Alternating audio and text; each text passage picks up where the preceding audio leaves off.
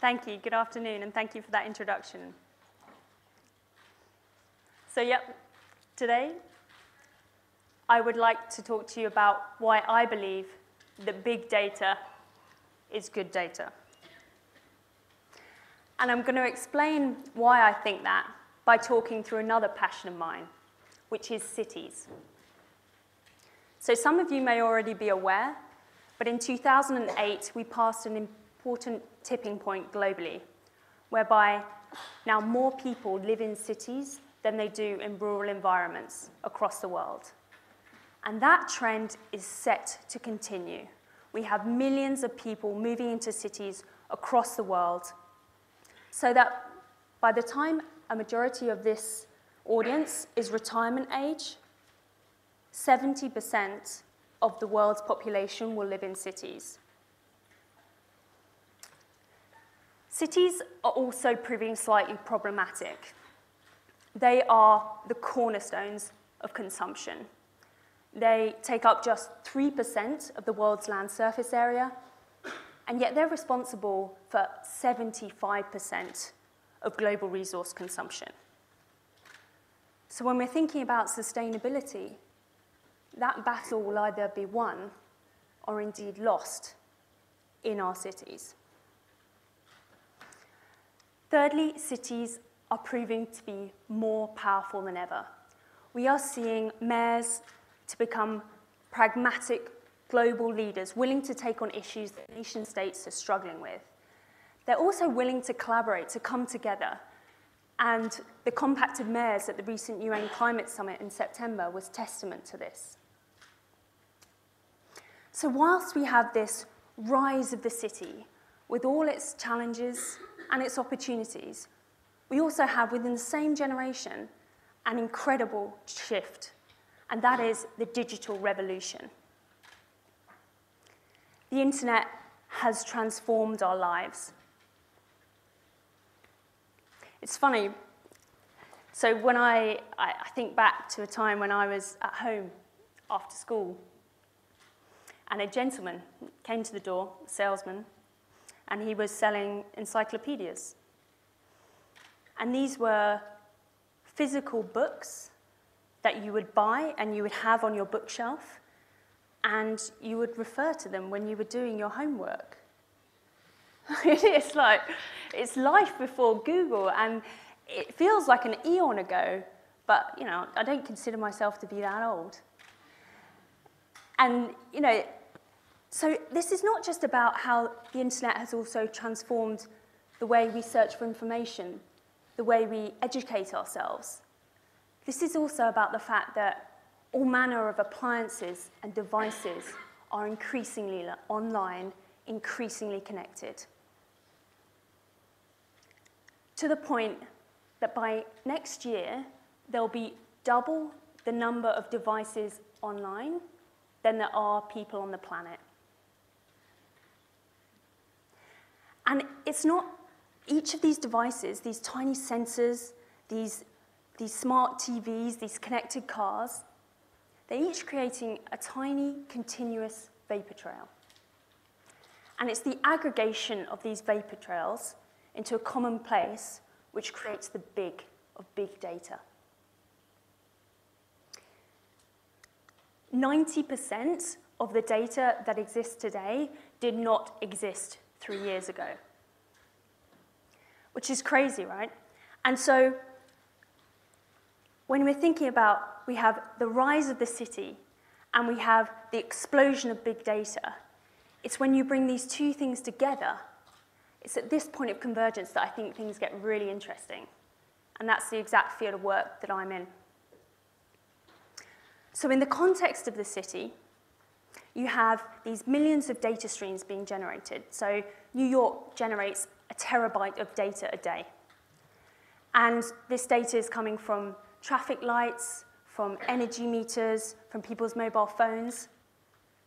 And it's the ability to bring together these data streams allows you to better sense the city, to better understand its metabolism in real time, to better match supply with demand for resources. And it's my belief that this is the tool that we use to better design and run our cities in the future, to secure their future prosperity. So perhaps if I could give you a couple of examples. So the first example is um, in, in US cities and in the context of crime. So the use of acoustic sensors, which are calibrated to detect gunshots, have shown that while people assumed that people would report a gunshot heard around 80% of the time it was heard, the reality was actually people only reported it around 10% of the time. So imagine this asset class to be able to understand in which neighborhoods, in which times of night or day these things are occurring. That helps the police to deploy precious resources. A second completely different example, and this time it's really interesting because they're, they're using the public to actually help gather their big data sets. So in the case of Amsterdam, they're actually providing citizens with smart umbrellas which have the ability to detect the level of rainfall at any given time. And combined with the smart app on citizens' phones, they're then becoming the sensors that the crowdsourced sensing that enables the city to understand the real-time propensity for flood risk. And that's just two good data examples. I think if we took a step back and perhaps if I'd asked you when you walked into the auditorium this afternoon, what do you think of when you think of big data? I think uh, a majority of people would have connotations of Google, of Facebook. We might presume that this, this new commodity is something that requires a complex machinery to refine it and is something that will remain the auspices of large private sector players, maybe a bit like oil. And don't get me wrong, I think companies like Google and Facebook, they have a role to play in this future economy. But I would like to posit that it's our cities that stand to benefit the most. But that's if we get the right mindset and critically, it's if we get the public and the private sector working together effectively.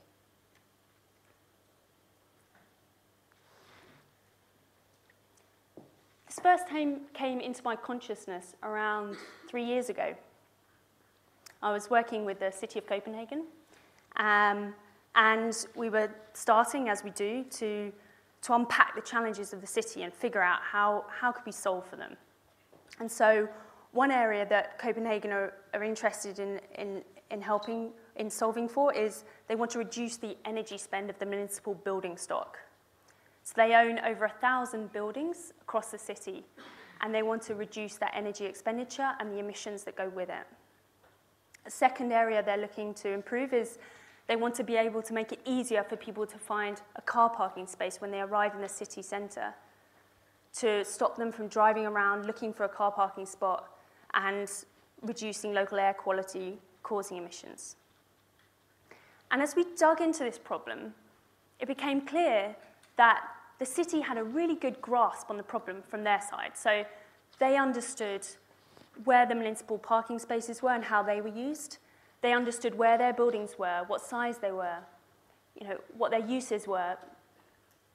But they didn't have an important piece of the puzzle, which was how were the private garages within the city used? And how does their energy spend, for example, compare with other buildings that are similar size? Because that's held by the utility company. And it's really, you need to bring together these two parts of the puzzle to be able to have a holistic view on urban challenges. But here's the tricky bit, which is how do you get the private sector to be involved? What is their incentive? Ultimately, there is a cost affiliated with capturing these data streams, with, with storing them, with providing them to a, a common platform for a common good. And they're, they're private, they, they have shareholders, they need to show financial returns and be remunerated. And that's when we came across the idea of the urban information marketplace. So, the urban information marketplace is the bringing together of public and private data into a common platform, which digital entrepreneurs can then subscribe to to access data streams to create innovative apps and services to make cities more effective.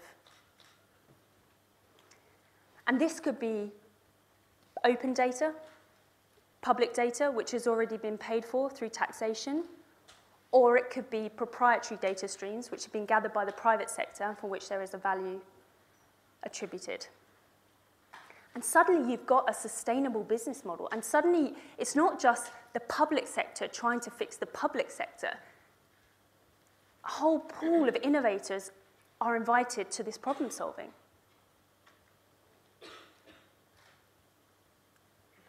So, why isn't this coming through faster? I think intuitively a lot of people would agree that this, this seems like a good concept. But I think there's three reasons why, why this isn't coming through faster. And firstly, I think this is related to the fact that this is technically complex. There are millions of data streams that need to come together, and they need to be organized, they need to be anonymized, they need to be applied the appropriate digital rights and offered out appropriately. And that is technically complex, but I think possible. Secondly, the public sector need to lead. If this is going to be successful, if this is going to have the appropriate trust and the appropriate governance model, then we need to have the public sector as the key protagonists. And although digital innovators in the public sector are on the rise, they are still a rare breed. Thirdly, there's the issues of data privacy and cybersecurity, which are valid and which warrant a good discussion. But I really believe that stringent legislative regimes could slow this down to the point that it's counterproductive. And when I look at um, examples from the Netherlands, whereby the rollout of smart energy meters to homes was held up in court for two years because of concerns over infringement of human rights, I think we cannot forget the opportunity cost of inaction.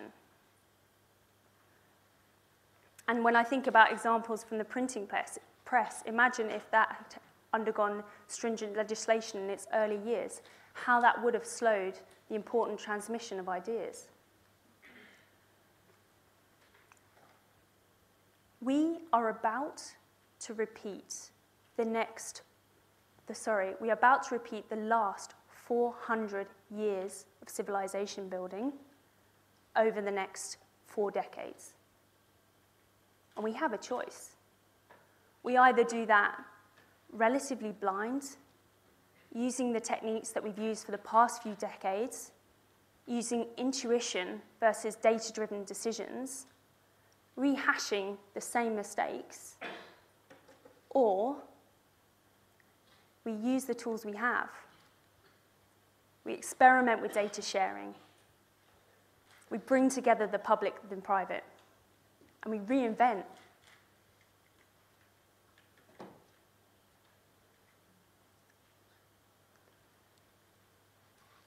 Kevin Kelly, the founder of Wired magazine, often talks to the power of technology to change our lives.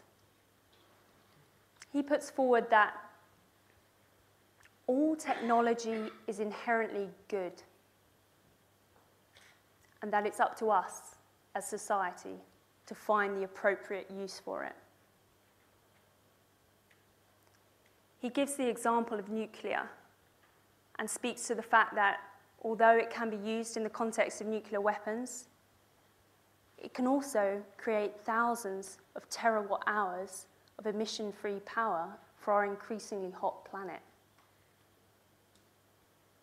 So, my suggestion is that we put big data to the best use we can possible. That we bring together public and private, that we invite sorry, entrepreneurs to the problem solving, and that we make big data good data for the future of our cities, for everyone. Thank you.